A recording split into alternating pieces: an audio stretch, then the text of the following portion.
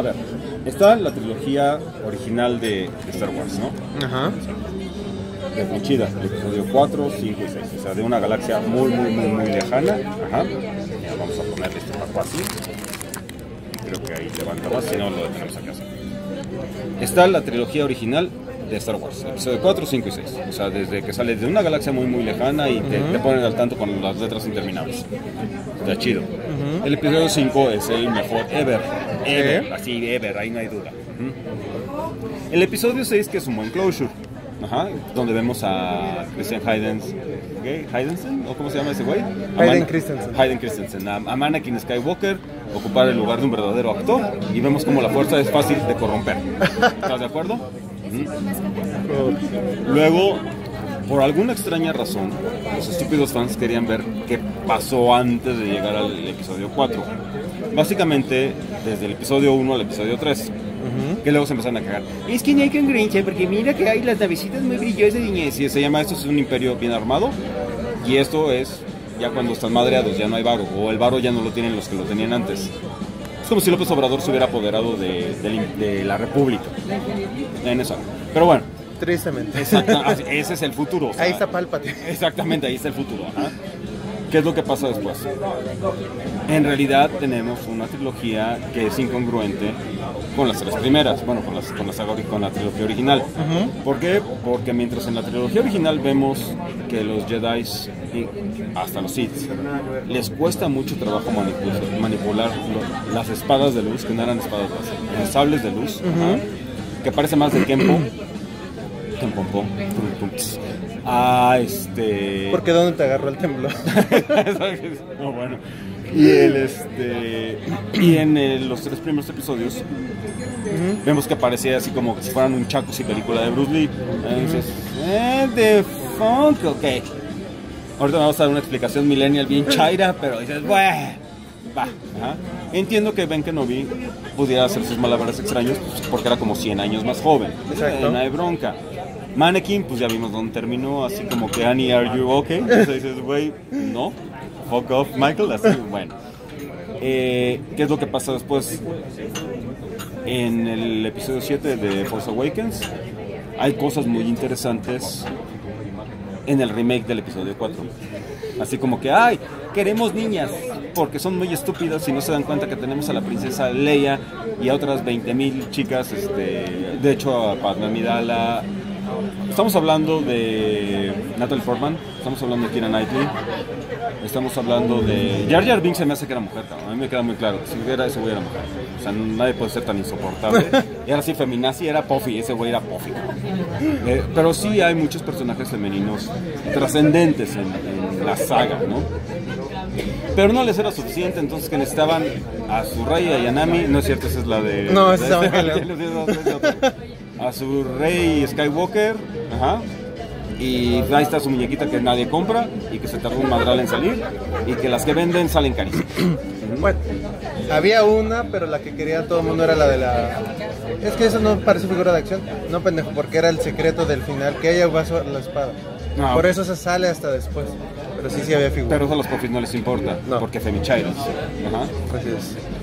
¿Qué es lo que pasa? Después tenemos la mega basura de Rogue One. Porque solo alguien impresionante, una generación lo suficientemente estúpida, sorry millennials, no puede entender que ese episodio, o sea, esa partecita de la historia de la saga, entre el episodio 3 y el episodio 4, realmente es intrascendente. A mí me parecía con mayor trascendencia el... Mejor vamos a ver cómo se empiezan a desarrollar los madrazos. A, vamos a matar a los únicos trooper- troopers que sí saben matar, a los Tropic Troopers, sí a huevo, güey. Deshagámonos de ellos. ¿Por qué? Porque le van a dar la madre a la saga. O sea, los memes, uno como sea, pero los memes, güey. Ajá. Entonces, ese pedacito, that's what she said, este, dices, güey, es netamente intrascendente.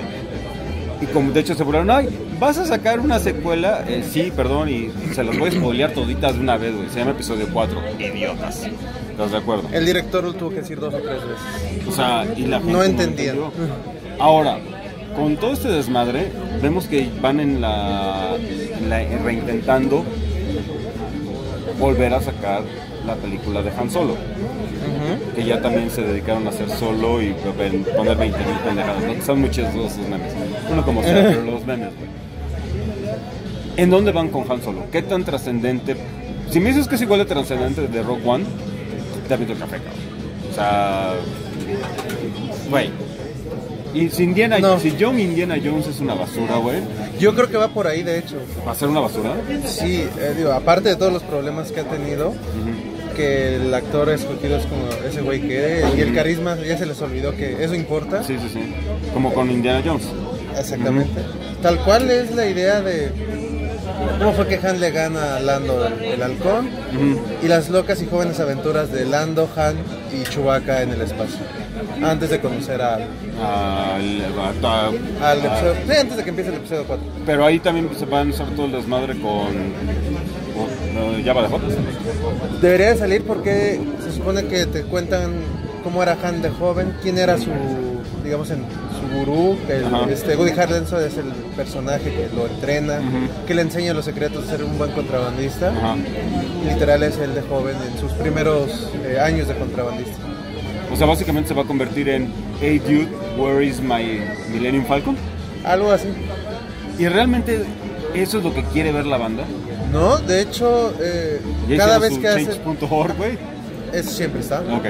Pero desde que se compra, eh, bueno, compran a Lucasfilm, Ujú. todo el mundo eh, y dice Iger que el plan es sacamos nueva trilogía y vamos a sacar tres spin-offs, antologías o todavía no había nombre, Ujú. pero ya más o menos lo teníamos pensado.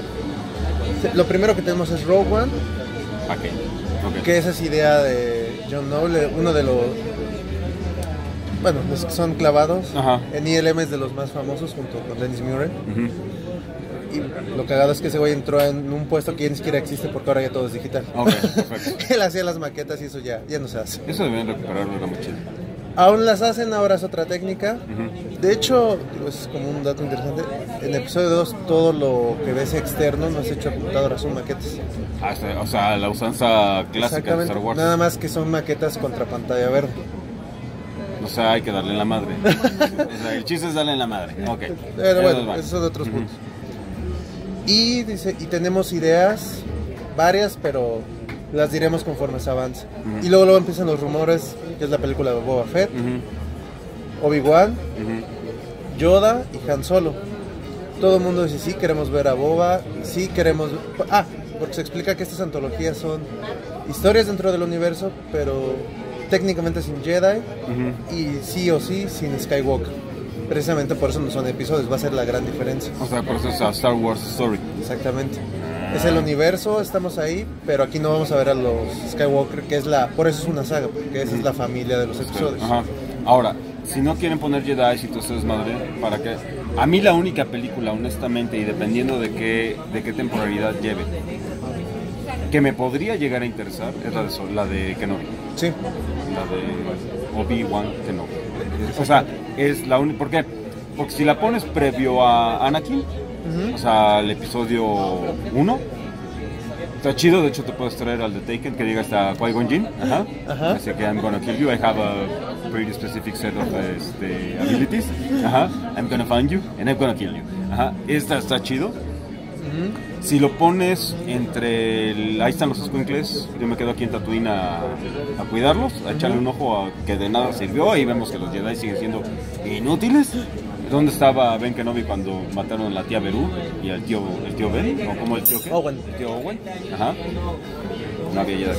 Pero Estaba salvando a Luke. Ok, buen, punto. Buen punto.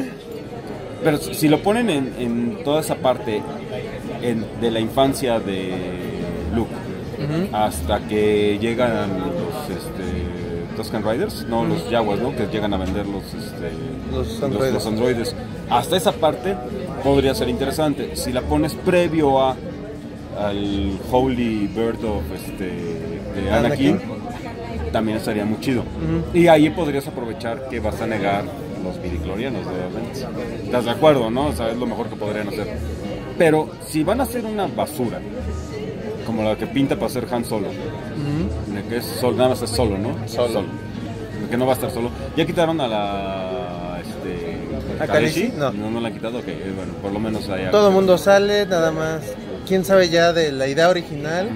Antes de filmar el Phil Lord y el otro siempre se me olvida. Trabajan, retrabajan el guion, Ok. los corren, se retrabaja el guion y se acaba. La verdad no creo que sea una buena película, pero Tú y todo el resto de la gente normal, sí. Pero al menos eh, no va a ser... eh, es Ron Howard al final del día. Ok. Va a tener calidad, va a estar eh, bien hecha, aunque probablemente sea un desmadre la historia. Y no de que, ay, qué divertido, sino No, no, desmadre esto que valió fue- madre. Sí, o sea, es que va a ser básicamente como Rogue One, güey.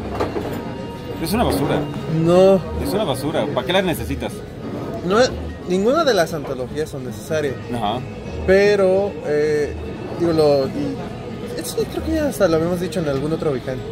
Lo interesante o por qué a todo el mundo le gustó Rogue One fue que, Porque son idiotas y no saben No, cómo no. pasó, güey. o sea, no es que, ay, nunca me imaginé que fuera así. Todo el mundo sabe, y es lo, con lo que empieza el episodio 4. Primera batalla, ganamos, nos robamos unos pinches planos. Eso da igual, pero esta sí conecta. Donde empieza que está Jean atrapada, son los tanques que se ven en el episodio 3 durante la guerra de los clones. Ves cómo va migrando del Clone Trooper allá a los Stormtrooper. O sea, ahí y sí ves a las los la pena, güey. Mátame a los Tropic Troopers. Es el total, no episodio necesitamos. 3.5. Aquí ya ves lo último de esa trilogía de precuelas y ves cómo va, eh, hacia dónde va el episodio 4. Ves el, A ver, dime la parte cosa. final Ajá. Lo cual es eso es para super fans Ajá. cuando se están reportando los escuadrones dicen, ah como en el episodio 4 qué chido. Líder azul líder no sé qué y de repente líder rojo Ay, güey ese sí es el del episodio 4 sí usan el footage lo editan un poquito Ajá. pero es como eh, güey sí es lo mismo o sea, está muy bien armada esa parte donde te están pegando y por qué es una mini flotita cuando atacan a la estrella de la muerte casi toda la pierden en esta primera batalla Y en realidad no podían conectar A y B y ver qué chingas había pasado. Te voy a decir una cosa, hay un dato, es un geek fact. Hay un güey que es así como que enorme. No enorme de tamaño, es grande el güey. Salió en Heroes. Salió en Star Wars, en Rogue One. Bueno, que no sé si cuenta, pero bueno. Y salió en Star Trek, eh, en Beyond. No, no es Beyond. ¿Cuál es la última Star Trek? La de Sí, la segunda es la de Darkness. No, la segunda es Into Ah. Darkness, ¿no? Ajá. La tercera es Beyond. ajá Ajá. Salió en Beyond. ¿Quién? El que sale de policía en Heroes. Ah, sí, la Pac-Man. Ajá, ese güey. No, pero él sale en el episodio 7, no en Rogue One. en Rogue One, ok, mejor. Eso salvó su carrera y no, está- no podemos incluirlo así como que se pone asterisco porque es una basura en la que salió. Ok, Heroes. Pero este, porque sale, salen hasta Sí. en Heroes Reborn, ¿no? Esa ya no la vi.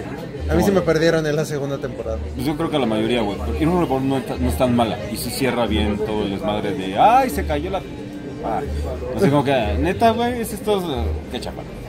Pero, este, insisto, ¿qué tan, qué tan importante o qué tan trascendente o qué tan bien hechas pueden ser sin dañar la continuidad de toda la saga de Star Wars de que te hagan esas películas?